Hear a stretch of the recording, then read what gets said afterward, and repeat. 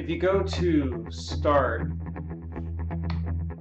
and then click on All Programs and go to Accessories and then click on System Tools, you'll see this thing here called Disk Defragmenter. Disk Defragmenter. Well, what is the disk defragmenter and uh, why would we be interested in knowing about it? Um, when you have hard disk drives, what can happen after a while is that they can become fragmented. And this is something that happens with hard disk drives, not with solid state drives. So remember, hard disk drives are the magnetic, uh, you know, magnetic drives. They use magnetic storage to store uh, magnetic positives and negatives charges uh, as the zeros and ones. And solid state drives are, are, are quite different. So with hard disk drives, what happens is we have uh, this image here, which we've already looked at, where we have the tracks going around the platter, and then we break those tracks up into sectors, and then a couple of sectors together are known as a cluster, and that's the smallest addressable place. Those are the little cubby holes where zeros and ones can get put. Well, as we start to fill up those little cubby holes, the way the hard disk drive works is it will start, it will look for the cubby hole which it finds first, pretty much.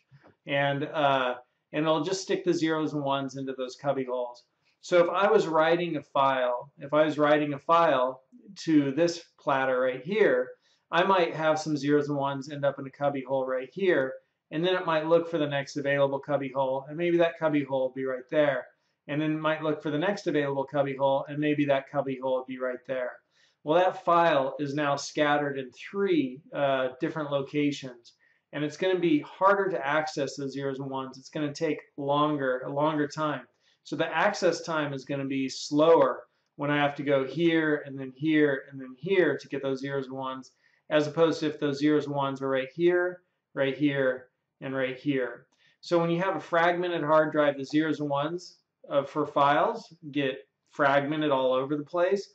And uh, when you defragment your hard drive, it kind of puts everything into uh, closer proximity. So when you go for one file, all the zeros and ones for that one file are right next to each other. And so the read-write head could gather them up with one swoop um, instead of jumping all over the place to get the zeros and ones.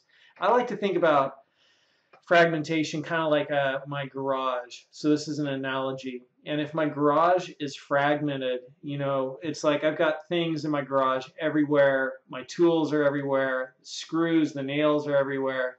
And, uh, you know, it takes me a long time to gather up the different things that I need to do a project. I have to find the screws, I have to find the screwdriver, I have to find the hammer, and they're all in different places. Well, if I defragment my garage, I get all the tools into the right area right next to each other. I get all the screws into one little area right next to each other. And I kind of have everything, you know, laid out in a proximity where I can access it quickly.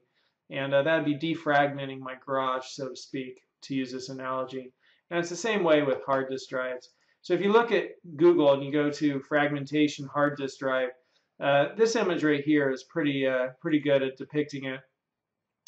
So here you have some contiguous files, unfragmented.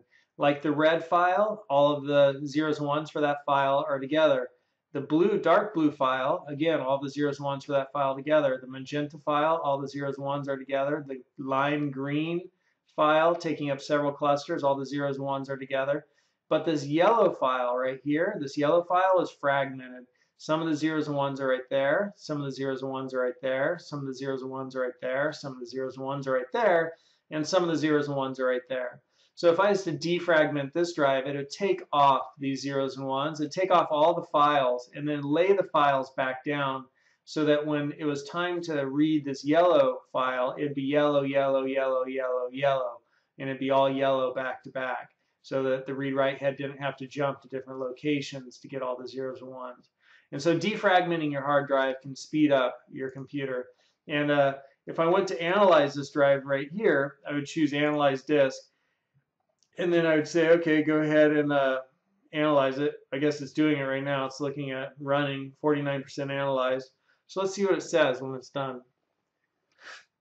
All right, cool. So it's finished, and it tells me that I have 2% fragmentation. And uh, I wonder if it has any recommendation for me.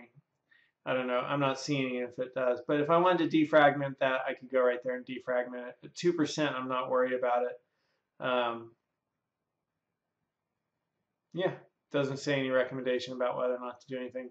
Anyhow, that's what it means to have a, a fragmented hard drive, and that's how you defragment your hard drive. And now that you understand uh, what that's all about. So uh, one way you could speed up your computer is to go to Start All Programs, Accessories, and System Tools, and Disk Defragmenter, and run that, and uh, analyze your disk. And you know if it's more than like 10% fragmented, go ahead and defrag it, and that'll help make your computer a little bit quicker. So it's good to know about.